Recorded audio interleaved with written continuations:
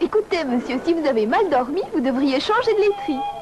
Gardez le sourire, dormez sur une meilleure literie.